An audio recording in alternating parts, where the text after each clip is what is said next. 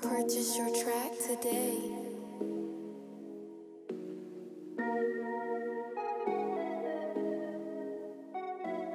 Pretty boy on the beat.